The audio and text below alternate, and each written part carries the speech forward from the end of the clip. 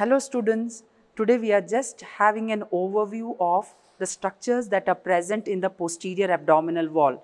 You can see here, we have a good specimen here to show you all the structures what are there in the posterior abdominal wall. So you should understand here that all the coils of intestine, the pancreas, the duodenum, everything we have removed. What we are seeing here is only the right and the left kidneys and the suprarenal glands. So shall we start now? So we'll just start from the midline. The first, the red colored one is the abdominal aorta.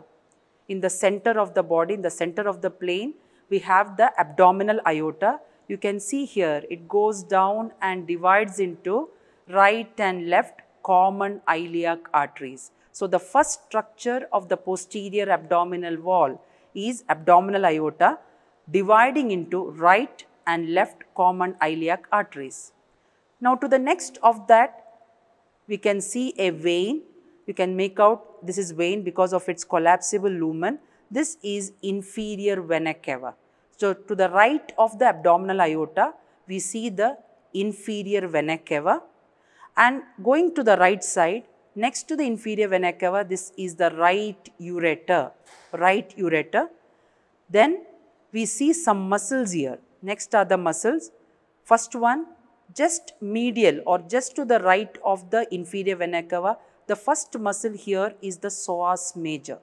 Psoas major. Next to that, this is the quadratus lumborum. And the last one here, this is the transverse abdominis. So shall we see it once again? We have started from the midline and we, we are moving laterally. So in the midline, the first structure what was seen is the abdominal aorta. To the right of that, we saw the inferior vena cava. Very next to that, we have the right ureter. Then comes the muscles. We have three muscles in the posterior abdominal wall. This is the psoas major, this one. Next is the quadratus lumborum. And what I'm holding here, this is the transverse abdominis. Now we have lot of nerves. If you see here, if I lift this kidney, you can make out there are lot of nerves that we can see here all are in relation to this psoas major muscle. Now lateral to the psoas major we see one thick nerve, this is the femoral nerve. Now above the femoral nerve we see the next second nerve that is lateral cutaneous nerve of the thigh. So femoral nerve just above that this is the lateral cutaneous nerve of the thigh. Then we can see much above that we have two nerves here this is a ilioinguinal nerve and iliohypogastric nerve. So ilioinguinal nerve is thinner and iliohypogastric is the thicker nerve and they come behind the kidney. If I keep place the kidney like this, these two nerves are the posterior relations of the kidney. Now I go medial to medial to the psoas major. We see a nerve here. You can make out this nerve is the obturator nerve. This is the obturator nerve. And on the psoas major, on the psoas major, you see one thin nerve here, this one there is a thin nerve here. This is genitofemoral nerve. This is called genitofemoral nerve. So we have many structures in the posterior abdominal wall. Each one is important. So starting from midline, this is abdominal aorta.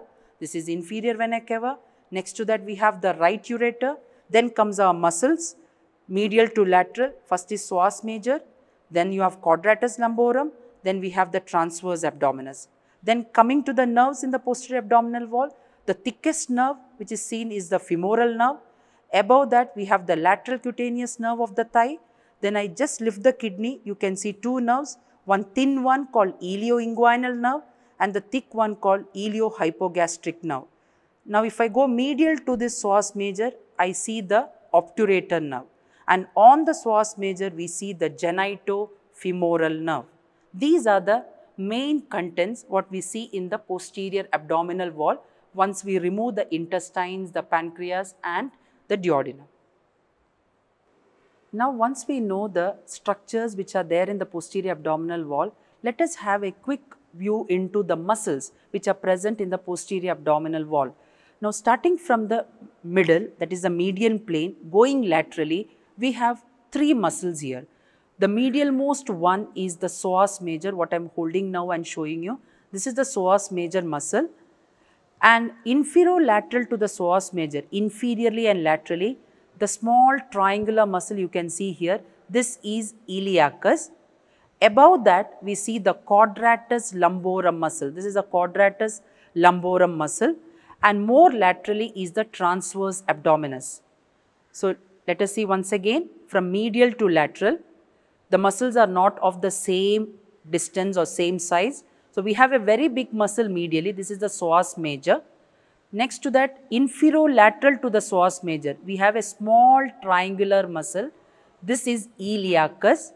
Just above that, we have another muscle that also lies lateral to the psoas major. This is quadratus lumborum and more laterally is the transverse abdominis. Now, if you see the psoas major, it's a quite big muscle going on either side of the vertebral column like this. The fibers you can see it is running down inferolaterally. The fibers go behind the inguinal ligament and they reach the thigh to get inserted to the lesser trochanter of femur. So, this is our psoas major muscle here. Now, inferolateral to the psoas major, there is a small triangular muscle, this one. So, just now I told you this muscle is called as iliacus. So, this is the iliac crest. This is a bony landmark called iliac crest. The muscle will come below the iliac crest. So, this is the iliacus muscle taking origin from the iliac fossa and most of the fibers of the psoas major and the iliacus are merged together. That means the iliacus muscle come and join with the tendon of psoas major. Now, once they join together, we call them as iliopsoas. They are mentioned as together in our books called iliopsoas. So, the minute I tell iliopsoas, I am including two muscles here. One is psoas major and one is iliacus. Both will run down to the thigh and they go to the lesser trochanter of femur. Now, why is this important for us? The iliopsoas muscle has got very important relations to the ureter. The ureters if present the cecum, the appendix on the right side and the sigmoid colon on the left. So, they have an important relation with these organs. So, any inflammation of the ureters, the cecum, the appendix or the sigmoid colon, the patient will complain of pain while movement of iliopsoas. So, it is a very important test that we do in clinical side, the iliopsoas test for any pain.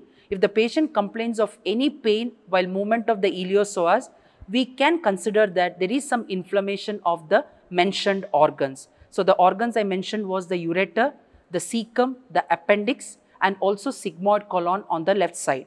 So, the first muscle what we saw was psoas major, inferolateral, below and lateral to the psoas major was our iliacus muscle. Both are running together so, since they are running together and joining together, it is called iliopsoas and they go to the lesser trochanter. Now, above the iliac crest, now above the iliac crest, this muscle is quadratus lumborum. The quadratus lumborum also arises from the lumbar vertebrae and they get inserted to the iliac crest. So, that means it is ending at the level of iliac crest. This is the iliac crest. So, this muscle lateral to the psoas major is quadratus lumborum.